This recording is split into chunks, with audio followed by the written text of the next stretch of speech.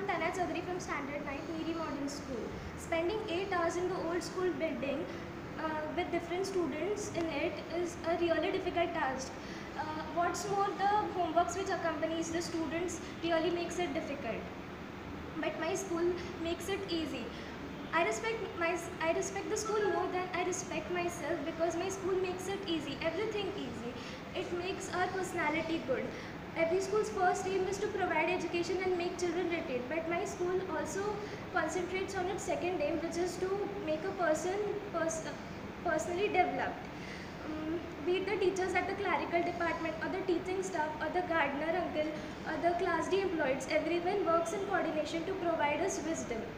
I would like to thank Reena ma'am who is my English teacher, civics teacher and history teacher. She is really optimistic and has a positive aura. Whenever she comes in class, everyone is happy with her aura and she makes everyone happy. Therefore, I, need, I want to thank her.